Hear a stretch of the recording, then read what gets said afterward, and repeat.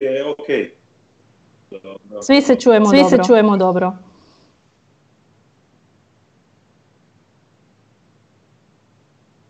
Može, može.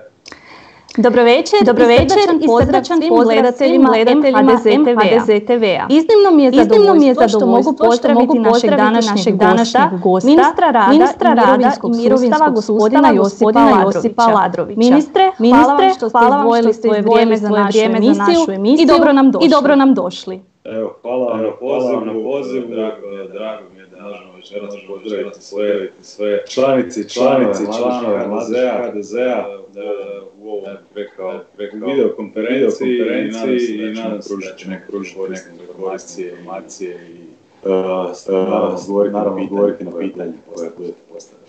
Vjerujem da hoćete. Vjerujem da hoćete. Evo, mi smo za vas Evo, mi smo pripremili nekoliko pitanja, a i naši gledatelji, gledatelji isto tako pojedinosti vezane uz nove mjere, pa krenimo redom. Pa krenimo redom. Za početak jedno, za početak jedno jednostavno pitanje za vas. S obzirom da ste jedan od novih jedan od novih ministara, možete li nam reći kako se snalazite? Kako je to ministar? I ukratko opisati svoju dosadašnju karijeru. Pa evo, moram priznat da, priznat da, Vladu sam ušao zapravo zadnje, zapravo zadnje, ali, ali više se ne osjećam ne osjećam s obzirom na sve ono što nam se događalo, se događalo kao novi ministar, ministar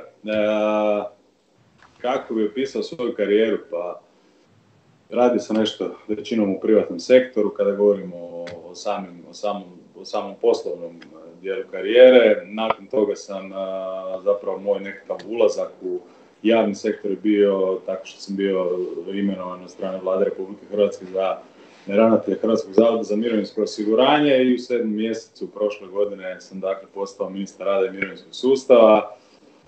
A čujte, što se tiče samih e, nekakvih e, dijelova kako se nosim s tim, e, izrazito naporan posao, izrazito zahtjevan posao, ali to je ujedno jedna čast i odgovornost biti dakle, ministar u vladi Republike Hrvatske. Vjerujem da cijela mladež, odnosno svi oni koji nas danas gledaju, e, imaju određene političke ambicije sigurno jedan od e, najviših ciljeva što se može e, smatrati, dakle, politi što se tiče moje političke ambicije.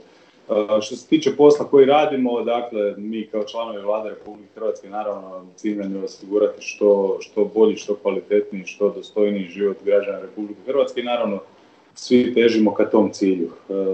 Što se mene osobno tiče, evo, vrlo izazovan posao i nastojim dati sve od sebe da još što bolje obavljam i naravno na korist svih građana Republike.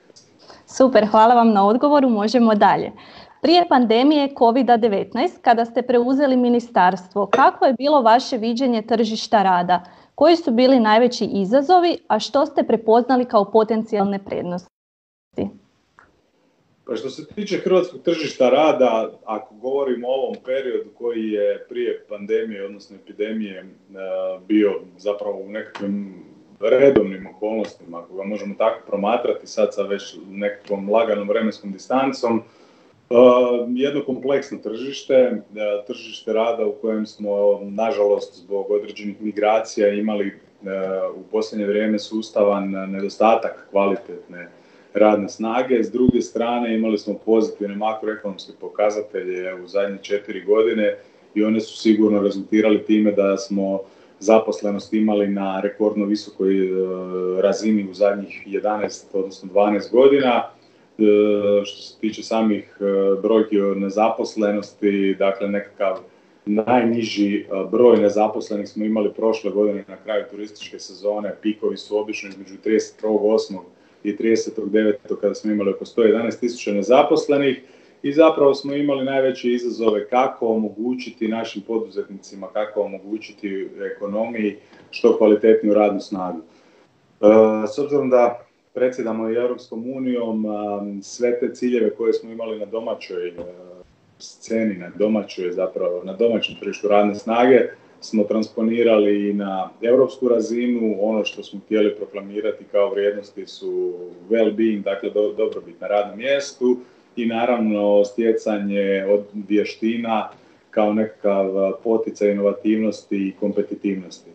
E, u tome smo bili, ja bih rekao, relativno dobri. Naravno, uvijek se na vještinama može raditi dodatno, uvijek vještine treba poticati, uvijek treba poticati, pogotovo mlade, da stječu što više različitih vještina kako bi bili konkurentni na tržištu radne snage. Nažalost, sada su se okolnosti promijenile i sada se zapravo suočavamo sa potpuno novim izazovima koje u ovom trenutku do kraja ne možemo ni procijeniti, niti možemo znati konačan ishod ovoga što se događa. Možete li nam reći koje su ukratko mjere Ministarstva rada i mirovinskog sustava čija je svrha ublažavanje krize uzrokovane pandemijom? Pa mogli ste proteklih tjedana, gotovo mjesec dana vidjeti da je vlada Republike Hrvatske u ovom kratkom vremenu već izašla sa dva paketa mjera pomoći hrvatskom gospodarstvu. Jedna od, sudio bih se reći, stožernih mjera, jedna od uh, najproklamiranijih mjera je upravo mjera iz domene Ministarstva rada i mirovinskog sustava koju smo plasirali kako bi očuvali radna mjesta. Dakle, ono s čim smo se susreli u ovom trenutku, pored epidemiološke i te nekakve medicinsko-zdravstvene situacije u Republici Hrvatskoj, susreli smo se i sa jednom dosta zahtjevnom ekonomskom situacijom. Ministarstvo rada i mirovinskog sustava je lansiralo čitav niz mjera u biti kako bi spriječilo ekonomske efekte, na, odnosno negativne e, ekonomske efekte i negativne trendove na tržištu rada Najznačajnije je naravno potpora poslodavcima za očuvanje radnih mjesta u tromjesečnom razdoblju koliko smatramo da je nekakav kratkoročni efekt e, ove ekonomske krize. Dakle, planiramo izdvojiti preko 9 milijardi kuna po našim sadašnjim projekcijama. E, ono što činimo, činimo to da poslodavcima dajemo potporu za ožujak u iznosu od 3250 kuna po zaposleniku, odnosno po očuvanom radnom mjestu, a s druge strane tu potporu smo paketu mjera za mjesec travanj, za mjesec svibanj, dakle s isplatama u svibnju i lipnju povećali na 4000 kuna. Uh, uz to snosimo i troškove doprinosa, dakle mirovinskog doprinosa za prvi stup, za drugi stup zdravstvenog doprinosa, tako da ove brojke od oko 9 milijardi kuna po našim projekcijama se čine realnima. Uh, noćas u 23.59 je zatvoreno zapravo zatvorene su prijave za mjesec ožujak, imamo oko 550 tisuća prijavljenih zaposlenika kroz 94 tisuće poslodavaca, ne očekujemo nekakav značajan trend povećanja e, tog broja u sljedećem razdoblju, ali definitivno smo spremni na, na sve scenarije. Mhm. Hvala na odgovoru. Da li nam možete opisati kako je tekao postupak izrade mjera nakon izbijanja pandemije? Da li ste imali kontakte s nekim drugim državama?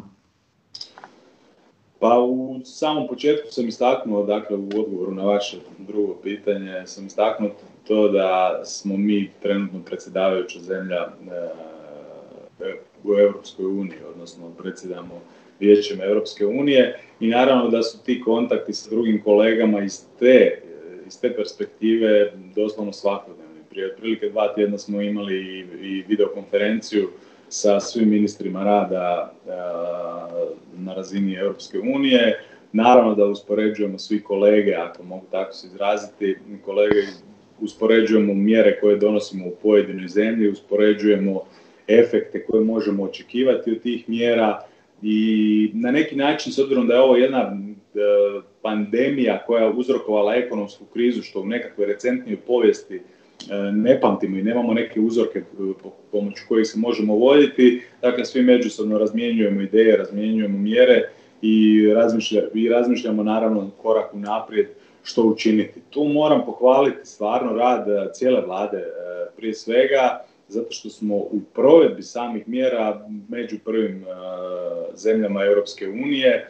Ono što mogu iz razgovora sa europskim kolegama primijetiti e, jako puno ideja se rađa, jako puno smjerova se zauzima u borbi protiv ove ekonomske pošasti, međutim sama provedba tih mjera kod nekih ide nešto brže, kod nekih nešto sporije, mi smo tu zaista u samom vrhu. E, mi očekujemo da ćemo ove svoje mjere zapravo kroz desetak dana već provesti prvi, prvi taj dio, dakle novac, odnosno uplate će biti omogućene i to je ono što nas u ovom trenutku raduje.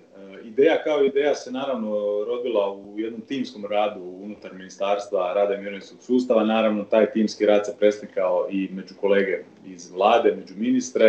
E, tu je bila jedna onako vrlo intenzivna suradnja svih tijela državne uprave, jedna intenzivna suradnja svih e, ekonomskih resora unutar vlade Republike Hrvatske i to je rezultiralo zapravo ovim konkretnim i u posljednje vrijeme možemo vidjeti čak i od e, dijela javnosti, čak i od većine, većeg dijela javnosti pohvaljenim mjerama. Tu ne treba nikoga posebno isticati, dakle samo nekakav timski duh i samo inkluzivnost u idejama može dovesti do dobrog rezultata. Mislim da smo mi stvarno na dobrom Osim ovih mjera koje ste sada već spomenuli, da li u budućnosti planirate uvođenje još nekih novih mjera? Pa naravno, treba razmišljati o svim sljedećim, odnosno budućim koracima. Tu se javlja naravno mnoštvo ideja, sve te ideje treba na neki način obuhvatiti, o svim idejama raspraviti, odabrati one za koje smatramo da mogu imati najpozitivnije implikacije, prije svega na tržište rada, ali i na ekonomiju u celini. E, što se tiče samog toga, zaista nisu to samo razgovori unutar ministarstva, unutar tijela ministarstva, nisu samo ni razgovori e, međuresorni na razini vlade, to je čitav niz komunikacije, razgovora sa Hrvatskom udrugom poslodavaca, sa Hrvatskom gospodarskom komorom, sa Hrvatskom obrtničkom komorom, udrugom izvoznika, inicijativama koje se u posljednje vrijeme pojavljuju kao nekakav glas poduzetnika i slično. I naravno učimo jednih od drugih, međutim ono što je činjenica, ono što je nužno istaknuti, prije svega ovdje se radi o odgovornosti koju nosi vlada i vlada će za tu odgovornost dakle ili biti nagrađena ili naravno na neki način posredno kažena ukoliko te mjere ne zažive, odnosno ne budu imale dovoljno kvalitetne učinke. uh što ostaje na raspolaganju nama mladima? Nastavlja li se i dalje mjera pripravništva? Pa ove mjere koje sam sada izložio, one su mjere aktivne politike zapošljavanja. Naravno da je jedan od glavnih i ograničavajućih faktora su i proračunska sredstva koja imamo na raspolaganju za korištenje ovakvih mjera. S obzirom da je pripravništvo kao takvo isto jedno od glavnih mjera aktivne politike zapošljavanja, s druge strane s obzirom na budžetska ograničenja koja imamo. Mi smo u ovom trenutku pripravništvo stavili, ja bi, ja se tako izrazio, malo po strani, odnosno tijekom ovog prvog vala pandemije smo ga stavili na nekako, a mogu se tako izraziti, na čekanje. Naravno da želimo poticati mlade da se i dalje zapošljavaju, naravno da smo svjesni koliko je velika uloga cijelo vrijeme refreshanja radne snage u Republici Hrvatskoj i sigurno ćemo u sljedećim koracima imati poseban paket mjera ili posebno ćemo obratiti pozornost i na mlade vjerujem da znate, odnosno vjerujem da imate određene informacije koliko, kako se kretala stopa zaposlenosti, odnosno nezaposlenosti mladih. Mi smo u 2015. godini imali oko 50-51% nezaposlenosti, stopu nezaposlenosti mladih. Sada, prije ove pandemije, smo imali brojke na razini 17, 18, 19%, ovisno o mjesecu koji gledamo. Dakle, mi smo tu stopu nezaposlenosti mladih zaista smanjile na minimum. Činjenica je da je pred nama sad jedno izazovno vrijeme u kojem ćemo morati razmišljati o svima, o svim segmentima tržišta rada, ali mladi će sigurno ostati fokus eh, vlade Republike Hrvatske, ponavljam, dakle to je, to je skupina koja se ni na koji način ne smije zanemariti, skupina zapravo koja će nositi to tržište rada u. Super, hvala vam, veseli nas to čuti. Jedno od pitanja koje zanima naše gledatelje jesti što je sa statusom sezonaca, odnosno stalnih sezonaca. Da li su i oni obuhvaćeni nekim od ovih novih mjera ili se za njih planiraju neke mjere? Pa što se tiče stalnih sezonaca, e, jedna od prvih e, grana koje su pogođene, odnosno na koje se manifestirala epidemija je upravo bilo hoteljerstvo, turizam, priprema e, i usluživanje hrane, ako idemo po nekakvoj definiciji.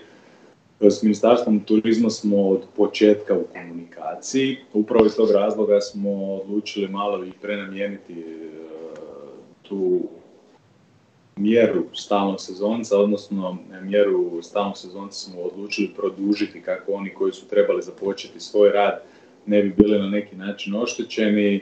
Dakle, mi kao vlada Republike Hrvatske i dalje snosimo trošak pola e, naknade koju dajemo poslodavcima za, e, za, za zadržavanje zaposlenosti, dakle oko 1625 kuna i doprinose, odnosno snosimo trošak doprinosa za stalne sezonce. Ono što je ranije bilo nekakva, nekakvo naše očekivanje da će turistička sezona, odnosno više očekivanje e, koje smo dobivali kao input od strane turističkih djelatnika, odnosno udruga u turizmu, je da će e, sezona započeti 1.6. stoga smo se odlučili na tu nekakvu tromjesečnu mjeru. E, sada to djeluje malo teže izgledno, iako naravno ne treba gubiti nadu, ukoliko ovo potraje E, nekakav duži period, e, omogućit ćemo još dodatna sredstva na ime mjere stalnog sezonca jer nam je izrazito, to je inače jako korištena mjera, oko 5000 osoba se trenutno nalazi unutar te mjere i bila je izrazito zastupljena i dobro prihvaćena od strane korisnika upravo zato što je e, tu našu sezonalnost u ekonomiji pogotovo u sektoru turizma pokrivala. I to je nešto što se pokazalo dobrim i sigurno ćemo raditi na tome da ona ostane u ovakvom obliku ili ćemo s obzirom na situacije prilagođavati oblik, ali definitivno mjeru stalnog sezonca nećemo ukidati. Uh što je s ostalim mjerama? Koliko je predviđeno trajanje tih vaših mjera? koji smo donijeli e, je imao nekakav e, u ovim kontekstima srednjoročan rok traja. Ja bih rekao da to bio paket za jedan srednji rok, iako ono što se u normalnim okolnostima može smatrati kratkim to je sada postao srednji rok. Dakle, sve mjere su manje više fokusirane na prva tri mjeseca, dakle da za tu neku uh, instant reakciju na ono što se događa unutar našeg gospodarstva, naravno sa mogućim rokom produženja od dodatna tri mjeseca. Ono što je malo drugačije kod ove krize, ona je izrazito intenzivna, izrazito se brzo događa izrazito brzo mijenja društvo. Možemo vidjeti da se nekakav socio, sociološki efekt e, osjeća već sada, iako kada se gleda broj dana koji smo proveli od nekakvog zatvaranja, prvih e, većih zatvaranja unutar Republike Hrvatske prošlo su manje od 20 dana. Dakle, taj, taj nekakva, ta nekakva društvena implikacija koja se događa je dosta intenzivna.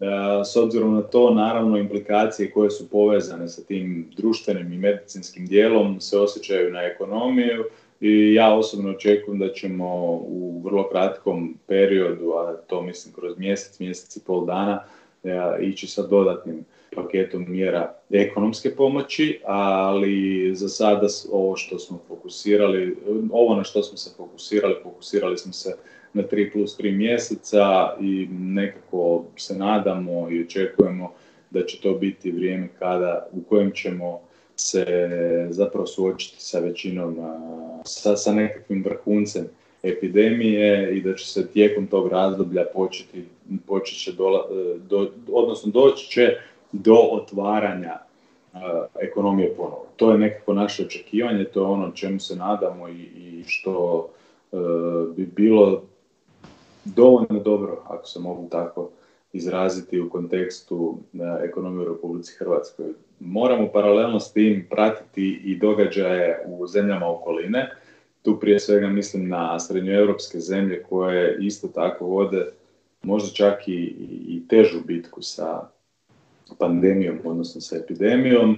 Uh, to su inače iz ekonomskog aspekta i emitivna tržišta hrvatskih proizvoda, emitivna uh, tržišta s kojih dolazi većina turista i to je sigurno u jednoj vrlo bliskoj, vrlo bliskom odnosu sa tim što će se nama događati u ekonomiju. Ali naravno nadamo se da će ishodi biti pozitivni i u Italiji, i u Njemačkoj, i u Austriji, i u Sloveniji, Mađarskoj, tako da nekakve veće poteškoće u ekonomiji mimo ovoga što je planiramo, evo, nadam se da, da do njih neće doći.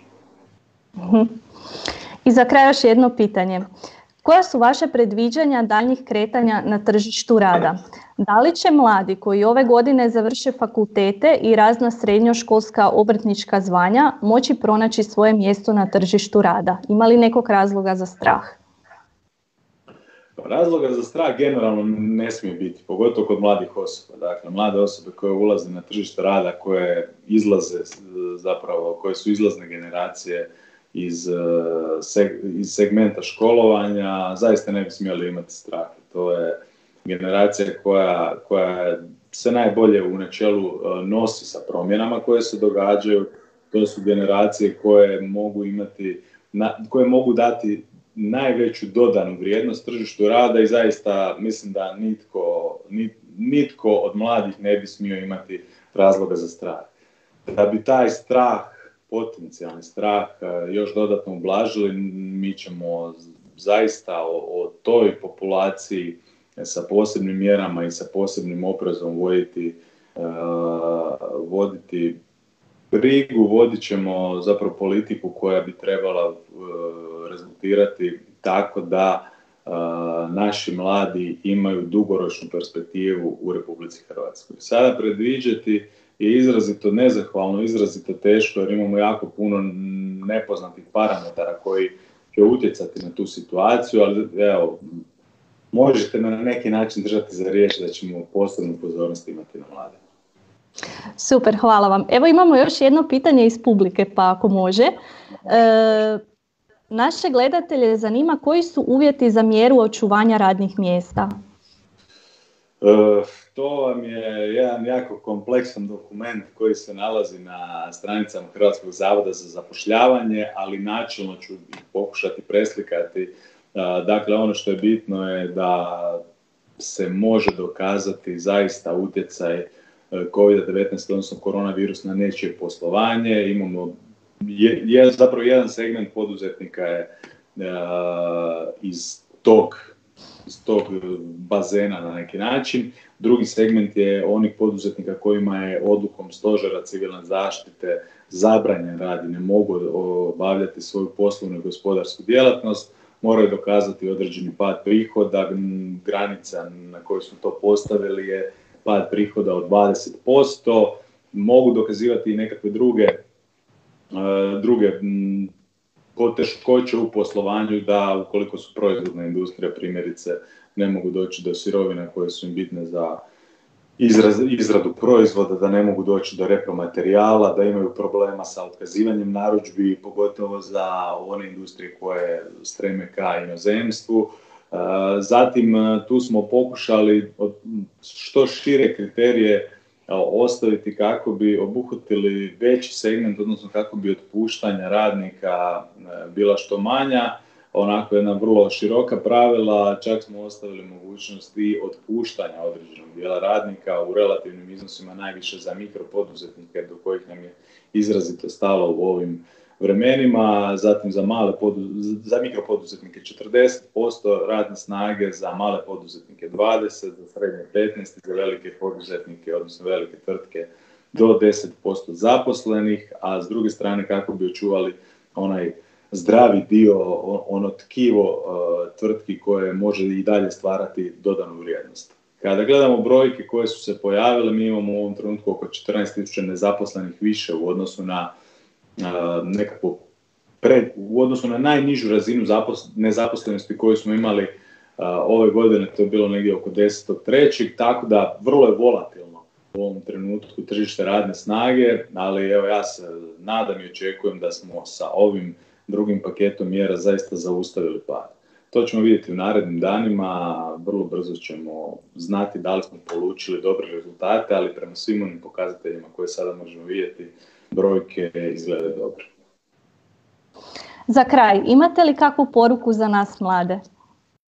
Pa evo, možda sam poruku već ranije iskomunicirao, dakle, budite hrabri, uh, iskoristite ovo vrijeme koje provodite možda u četiri zida ili koje, koje provodite manje krećući se ne mogu, ili ako ne možete obavljati djelatnosti koje ste obavljali, ako ne možete pohađati nastavu na fakultetima ili na školama, iskoristite za stjecanje što veće količine znanja, što kvalitetnijeg znanja iskoristite da razvijete nove vještine, jer više nije pitanje kako se mi borimo sa epidemijom, dakle to je pitanje na koje ćemo vlade siguran sam odgovoriti dobro, nego koliko ćemo mi kada epidemija, pa, kada epidemija splasne biti konkurentni na tržištu radne snage, koliko ćemo biti konkurentni kao ekonomija i koliko ćemo biti brzi kada ta startna linija ponovo se otvori. Dakle, tu je velika odgovornost na mladima, tu je velika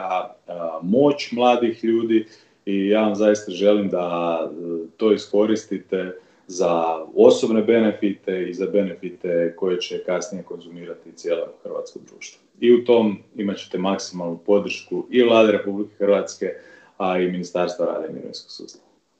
Hvala vam puno na lijepim željama i na podršci. Isto tako želim vam zahvaliti na vašim odgovorima i pojašnjenjima i još jednom puno vam hvala na izdvojenom vremenu. Želim vam puno sreće u daljem radu. A vi, dragi gledatelji, a vi, dragi gledatelji. pozivu uh, u ovu emisiju i drago mi ukoliko sam uspio nekakve nedoumice razjasniti i poslati poruke vašim gledateljima. Jeste, hvala još jednom. Dragi gledatelji, hvala vam što ste i večeras pratili MHDZ TV. Budite s nama idućeg tjedna kada vam pripremamo novog gosta iznenađenja. Do tada, budite odgovorni i ostanite doma. Ugodnu večer.